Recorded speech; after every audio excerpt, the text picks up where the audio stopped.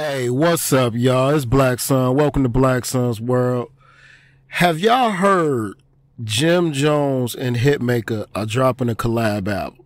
Like an entire Jim Jones album produced by Hitmaka. Like, what the fuck? Yo, I'm so confused. But at the same time, I'm intrigued, low key. Like, this collab makes no sense whatsoever. None.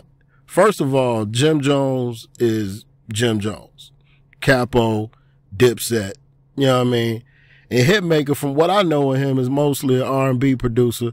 His last project was with Eric Bellinger, which which was dope. You know what I mean? Honestly, Hitmaka is probably one of my favorite producers from an R&B standpoint.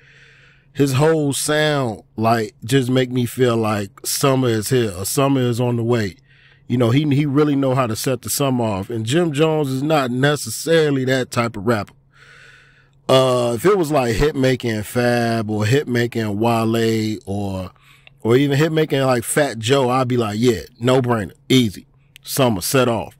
But Jim Jones and Hitmaka is, is making me scratch my head a little bit. Like the album is titled, uh, Back in My Prime. Like I said, I'm confused. I'm concerned for what Jim might be trying to do right here.